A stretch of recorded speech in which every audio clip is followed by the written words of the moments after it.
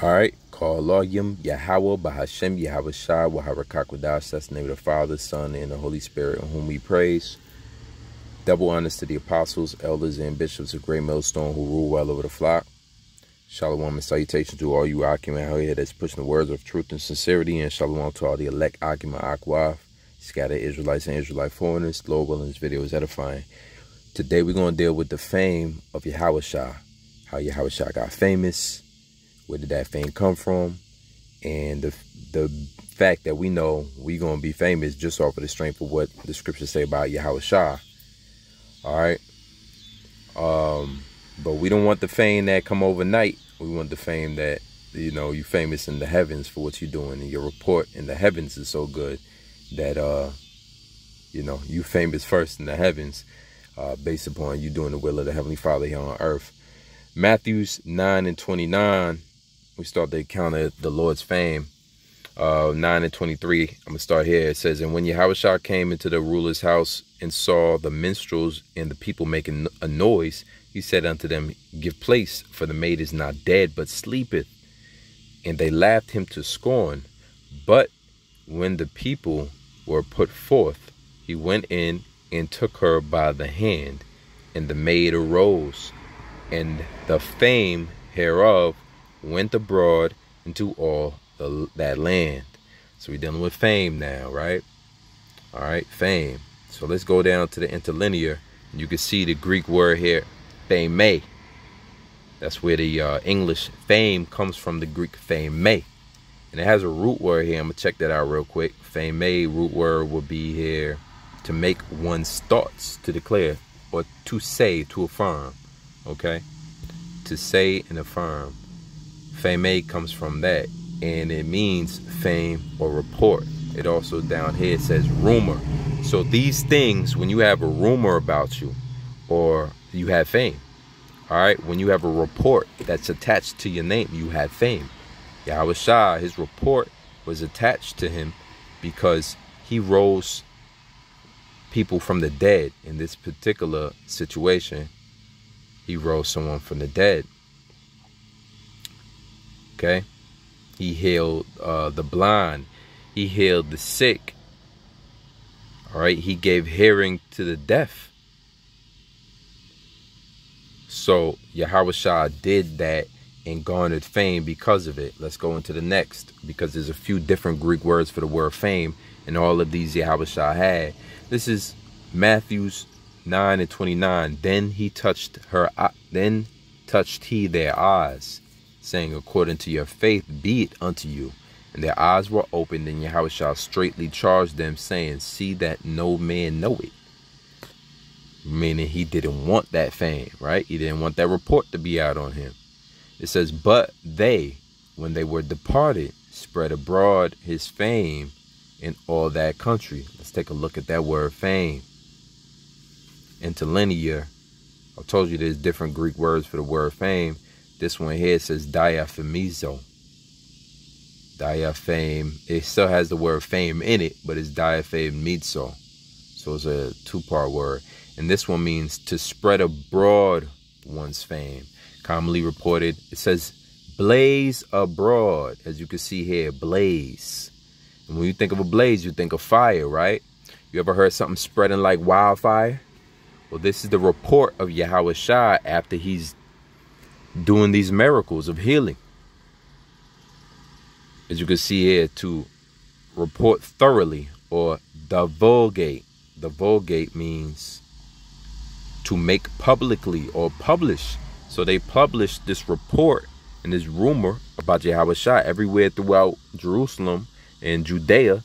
There was this report about the Messiah, this report about Yahweh of Nazareth, this report about a man that could heal, a man that could walk on water, a man that could uh, see see uh, dreams and visions, a man that can interpret things, a man that knows the scriptures, a man that condemns the wicked, stands for the just, a man that is amongst publicans and sinners. So it was divulged, it was publicly, thoroughly reported on, and it went like a blaze. And that's where his fame came. You see here, to commonly report. Once you become something commonly reported on, you have fame now. You have fame now. Let's go into it. And it says here to spread abroad his fame, verbally diffuse his renown.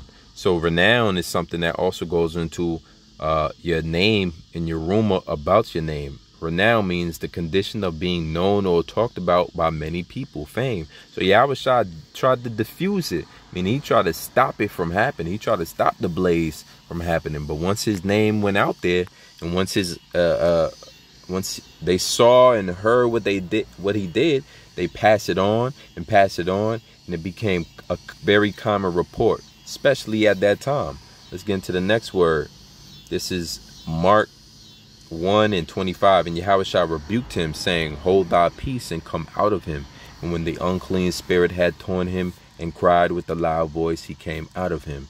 And they were all amazed, insomuch that they questioned among themselves, saying, What thing is this? What new doctrine is this? For with authority, for with authority commandeth he even unclean spirits, and they do obey him. And immediately his fame spread abroad. And what is it we know about fame? It's a report. It's your name. It's a name. It's a report attached to the name. It's a rumor. It's your renown. It's a it's a uh, a, a commonly reported thing about you. So his fame spread abroad, and it happens like a blaze, like a wildfire, throughout all the region round about Galilee. And so you can imagine all of these people um, with this name of Yahawashi uh, in their mouth speaking on uh, this man, you know, who heals.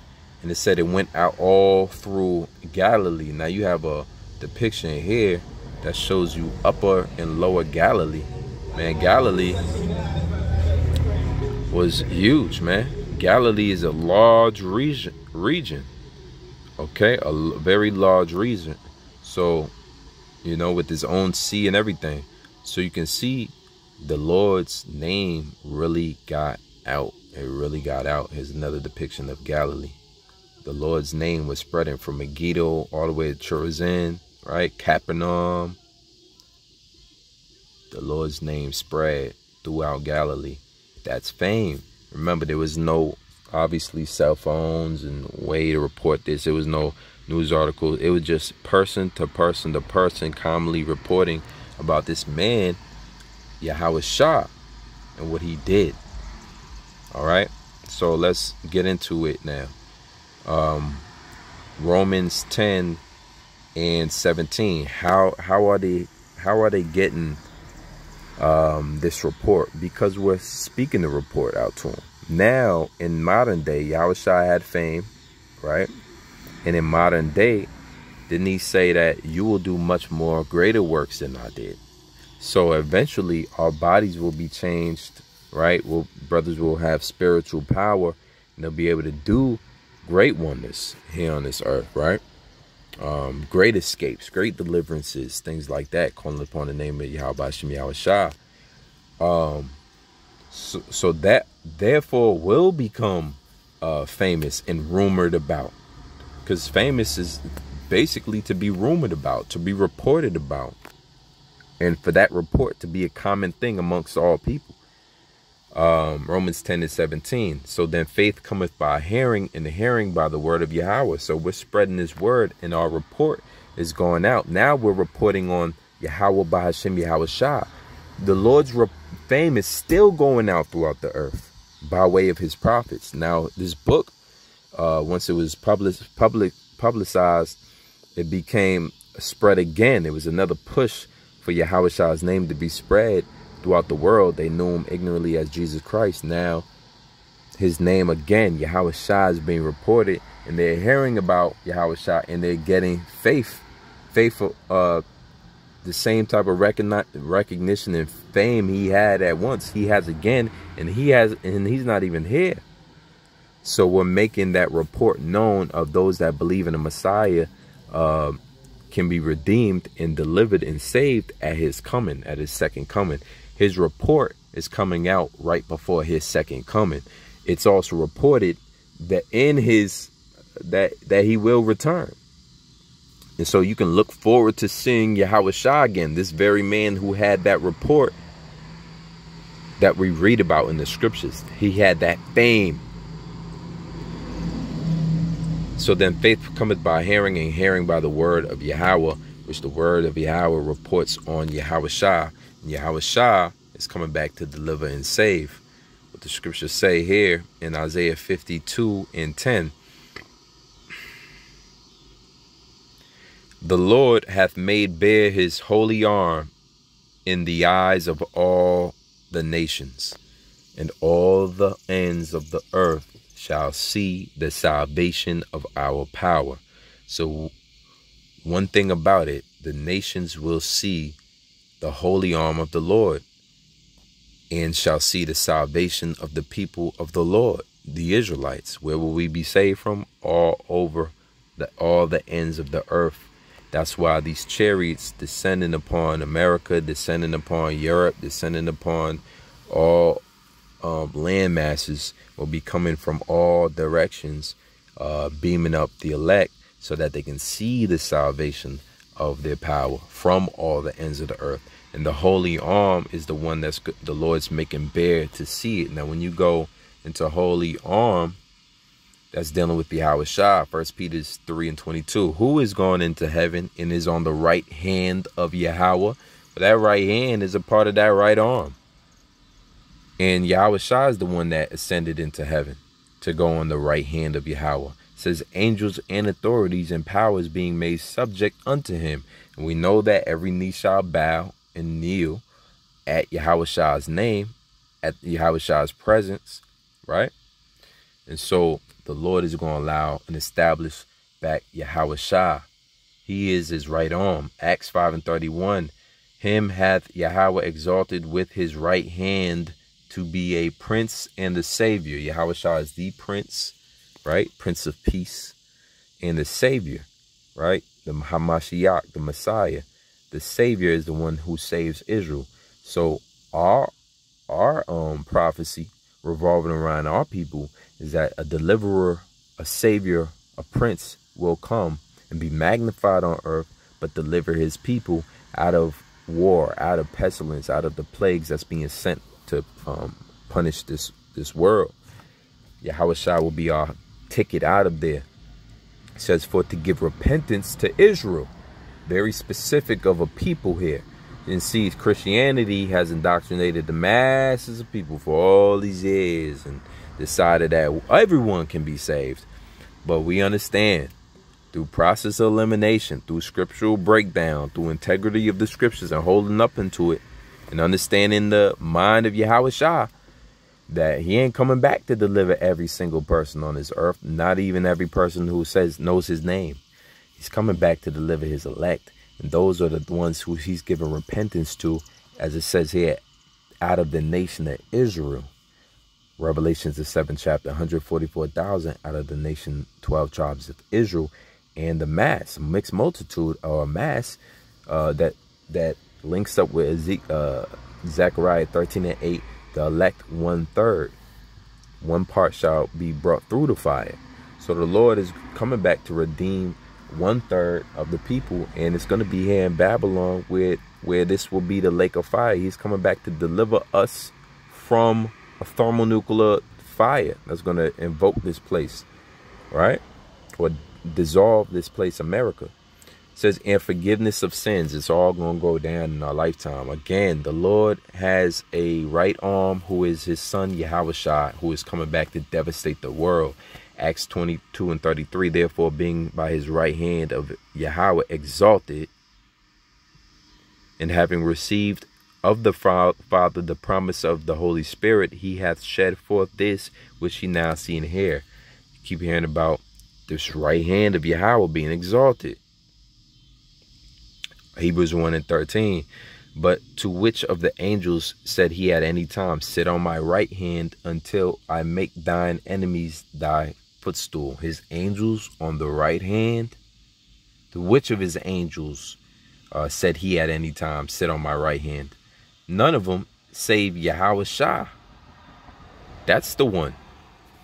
Sit on my right hand till I make thine enemies our footstool. Yahawashi is on the right hand. So going back into his fame, once again, his fame is uh, reported before he was alive. His fame before he came as uh, uh, uh the son of uh, Joseph. His fame was reported on. It was known that a Messiah would come. His fame was reported on. Right? He was that Passover. Uh, he was the Passover angel, death angel. His fame was reported on. Of this Messiah, of this right hand power of Yahweh. All right. So again, um, our job is to promote this this word. Again, King James, Isaiah 52 and 10, the Lord hath made bare his holy arm, Yahweh in the eyes of all the nations. In the idea of making something bare, make bare your arm. Ellicott's commentary for English readers, the Lord hath made bare. The warrior preparing for action throws off his mantle tucks up the sleeve of his tunic, and leaves his outstretched arm free. If you go into any bar in America, let's let's say you don't do a bar, you go anywhere, all right, you're talking to somebody, a perfect stranger, and you start rolling up your sleeves, that man is instantly going to think it's an issue, it's a problem, something wrong. Is you stressed out? What's going on? You okay? Because rolling up your sleeves is a universal sign, at least amongst men, that you about to get them throwing in my arms and you don't want nothing to hold you back not even your own garments and so the rolling up of the sleeves in this case is Yahweh about to exhibit his right arm and an arm symbolizes uh, power that's why you have here in the NLT um, it'll say the Lord hath has demonstrated his holy power right? And her, her holy arm is what symbolizes Yahweh because Yahweh is holy, he's perfect, right? He, he's holy in the sight of Yahweh, his father, by doing his will. And his arm symbolizes power, right? His holy power, holy arm. And so he's coming back very powerful, stealthy, right? As a, as a thief in the night, but still powerful. I mean, when these chariots show up, they're just going to show up in the brightness of his coming like a lightning bolt. Okay, they're going to just appear. Boom, boom, boom, boom, boom, boom. Thousands of them, right? Tens of thousands of angels, right?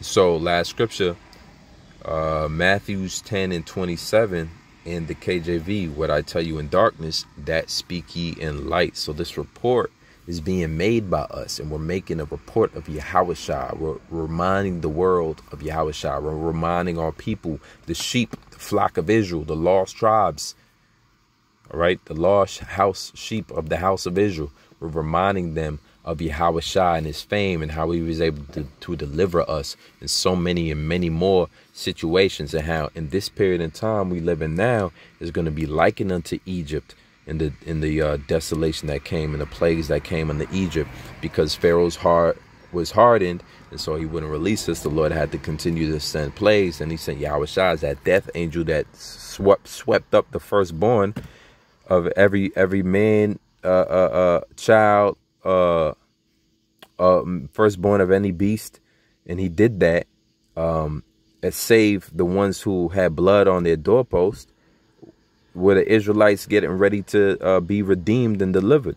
So Yahawashi, his presence was known and felt as the right hand uh, or the right arm or the uh, holy power of the Lord. And his holy presence is going to get felt again. That's why we are committed to uh, uh, speak in light, in the light. These words we can publicize. Why? Because the, the things that's made public usually have uh, uh, more of an effect, a lasting effect. There's a face behind that who made that public. That's why the script says, you know, for those that sigh and that cry for the abominations thereof, he'll place a mark of of redemption on. Right? We're looking for salvation and deliverance for the times to come. We know that they're coming. They're warned. They we've been warned by prophets. Um, the Lord woke us up to do the same, very same thing, to prophesy, to speak publicly, and to give the report in the about the talk about the fame of Yahawashi and how that's going to come back. It says, "And what ye hear in the air, that preach ye upon housetops." And the preaching goes back to giving a report or teaching.